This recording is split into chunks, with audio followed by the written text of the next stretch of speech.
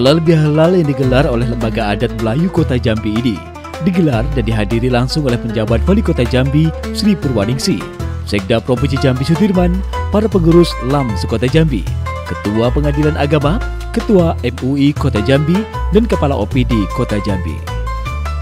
Ketua LAM Jambi Nawawi yang bergelar Datuk Mangku Setio Penggembiro mengatakan, Halal bihalal yang digelar selain untuk menjalin tali silaturahmi, juga mengangkat tema menciptakan generasi muda cinta adat dan budaya Jambi.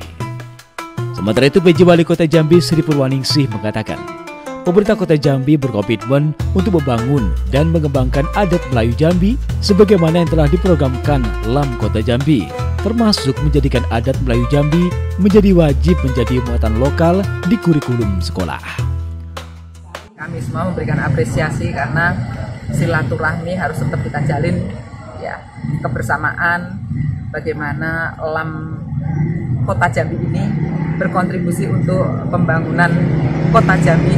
Saya sampaikan bahwa ada beberapa hal yang harus sama-sama nanti kita diskusikan lebih lanjut.